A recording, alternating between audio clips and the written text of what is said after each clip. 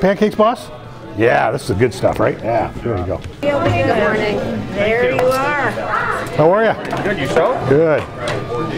There you go. All right.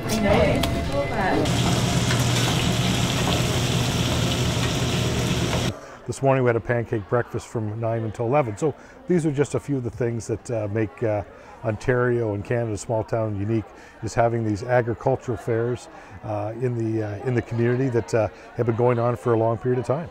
It's been going on for 50 years, which is pretty cool. Some fall fairs have uh, have demolition derbies.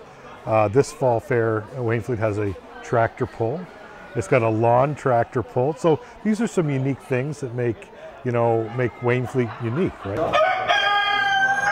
Uh, you know, I always encourage people to come out and, and uh, support local uh, uh local fairs because it's something that's uniquely uh, Canadiana, and I think it's uh, the fact that we've got a lot of fall fairs in our area that have been around anywhere from 50 years to over 150 years is pretty is pretty unique.